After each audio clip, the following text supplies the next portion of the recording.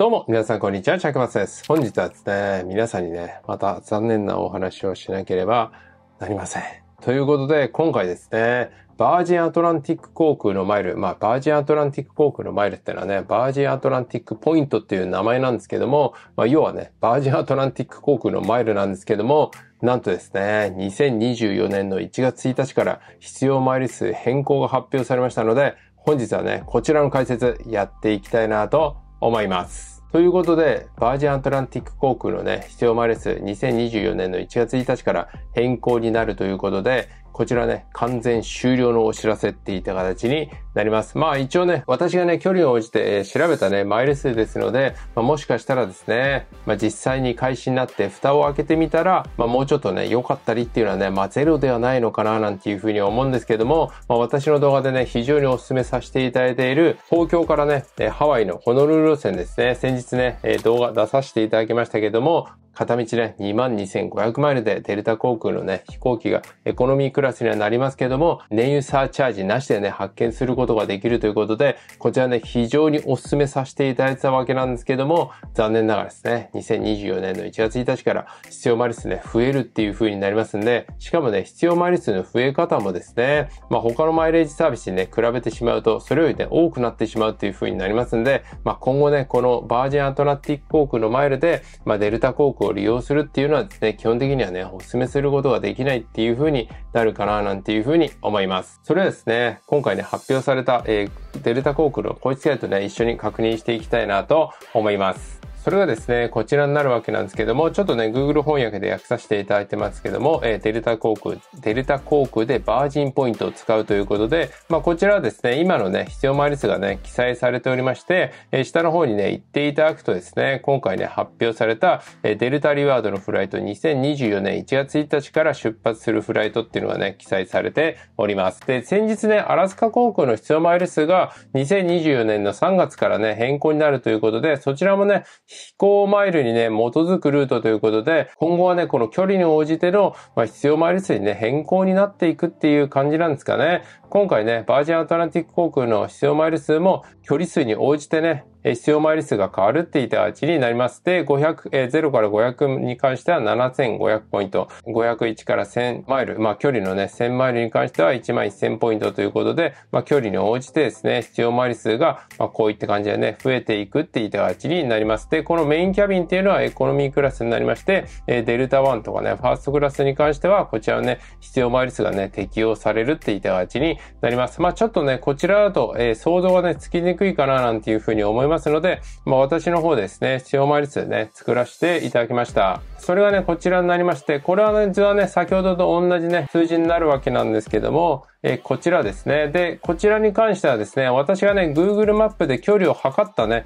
高距離、まあ距離でですね、必要マイル数算出したっていう風になりますんで、ちょっとのね、あの誤差あるかななんていう風に思いますので、この点はね、ご了承いただいて、え見ていただければなと思います。こちらの必要マイル数は2024年の1月1日からっていう風になりますんで、2023年の12月31日までは、こちらの必要マイル数でね、発見することができるっていった形になります。で、新しくね、変更になる必要マイル数なんですけども、まずね、羽田ホノルル便、今までは22,500、まあ、ポイントと書いてありますけど、必要マイル数ですね。発見できた羽田ホノルル区間に関しては、えー、3万5,000ポイントっていう風になります。で、羽田シアトルが今ね、27,500ポイントということで、このね、アメリカ本土にね、行けるフライトで、おそらくね、多分今、一番ね、必要マイル数少ないのが、このバージンアトランティック航空の羽田シアトル路線で、ね、27,500ポイントでね、片道発見することができるっていう風になりますんで、これめちゃくちゃ安いですよね。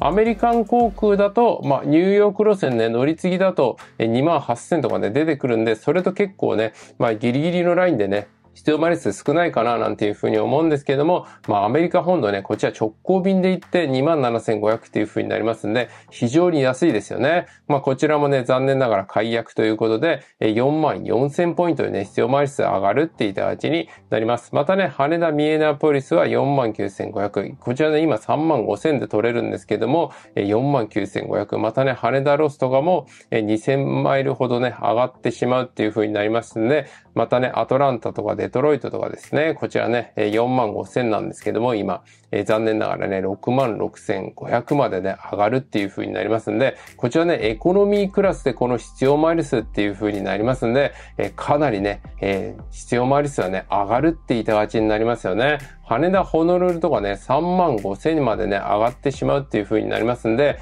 今ね、羽田、ホノルル路線ですね、まあ ANA、ANA、JAL マイルね、除くとですね、アラスカ航空で、2024年3月、まあ次の変更まではですね、今ね、片道2万5千でアラスカ航空のマイルだったらね、発見することができて、こちらもね、お得なんですけども、バージンアトランティック航空のマイルに関してはね、今ね、2万2500マイルでね、発見することができるっていう風になりますんで、まあ残念ながらですね、アラスカ航空も3月以降はですね、3万マイルっていう風になりますんで、まあこれでね、発見するんだったら、まあアラスカ航空でね、3万マイルで発見した方が、まあお得になるっていう風になりますんで、まあアラスカもね、バージンアトランティック航空もね、燃油サーチャージはかからないわけなんですけども、まあ、全体的にね、必要マイル数アップっていう風になりますんで、まあ、今後ね、このバージンアトランティック航空のマイルをね、お勧めするっていうのは、まあ、なかなかね、できないかなっていうところなんですよね。いやね、非常に残念ですね。このね、22,500マイルとかね、本当に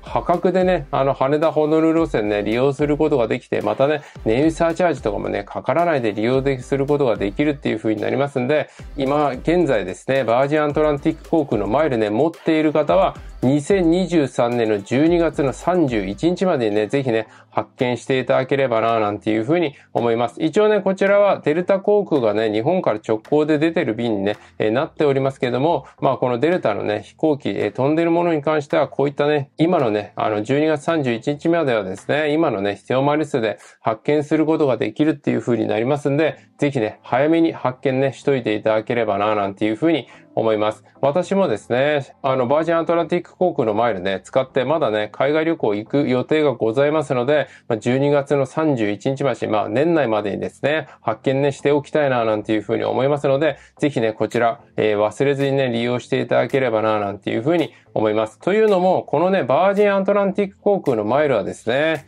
このね、アメックスのリワードポイントから交換することがね、できるって言った形になるんですよね。またね、マリオットアメックスのマリオットポイントからもね、交換することができるんですけども、まあこちらね、アメックスリワードポイントからですね、お得にね、利用することができるね、あの航空会社っていうのがね、どんどん減っていて、まあ昔はね、ブリティッシュアウェイズとかね、日本国内ね、最安い4500マイルでね、国内利用できた時代があるんですよね。もう4、5年前ですけども、そういう時代がね、あったんですよね。ですので、一時はね、このブリティッシュエアウェイズで非常にお勧めされてたんですよね。このブリティッシュアウェイズのマイルに変えて JAL の飛行機発見するとかね、結構お勧めされていたわけなんですけども、それもね、あの、解約されてしまったっていう風になりますんで、今回ね、こちら、バージンアントランティック航空のね、マイルが、え、解約になるっていう風になりますんで、まあ今後ね、どこで使っていこうかなっていうところはね、正直ありますよね。まあ ANA にまでですね、え、メンバーシップリワードプラスね、加入していただければ、え、1マイルね、1、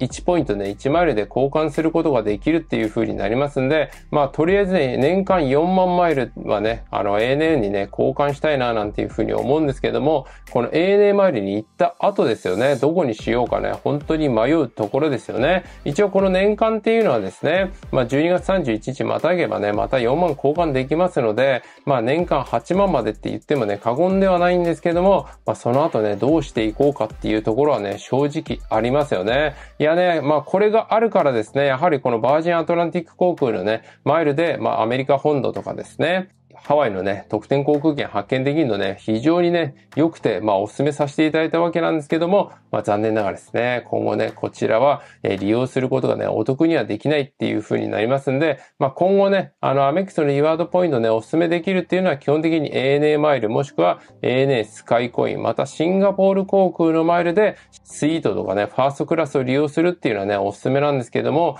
まあ、それ以外だとですね、ちょっともったいないですけども、ヒルトンポイントとかね、マリオットポイントとかに交換しても、まあいいかもしれないですね。まあここら辺はね、上限がないわけなんですけども、まあヒルトンのポイントとかね、100円でプレミアムカードだったらね、3ポイントね、どちらもね、そのカードのね、プレミアムカードだったらね、100円で3ポイント貯まるっていう風になりますんで、まあちょっとね、レートは下がりますけども、まあこっちが、こっちにね、移行してっていうところですかね。いや、非常にね、残念なわけなんですけども、まあ今後はね、こういった形になりますので、この点をね、ぜひ覚えておいていただきたいな、なんていう風に思います。はい。ということで、今回ですね、バージンアトランティック航空のね、マイルが解約ということで、解説ね、させていただいたわけなんですけども、変更になるのは2024年の1月1日からっていう風になりますんで、年内まではですね、今の必要マイル数でね、発見することができるっていう風になりますんで、ぜひね、バージンアトランティック航空のマイル持っている方はですね、ぜひね、年内に発見ね、しといていただければな、なんていうふうに思います。ということで、今回の動画ね、こんな感じで終わりたいなと思います。この動画役に立った方は、いいね、チャンネル登録ぜひお願いいたします。私ブログ、Twitter、Instagram、LINE 公式アカウントやっておりますんで、ぜひね、チェックしてあげるととても嬉しいです。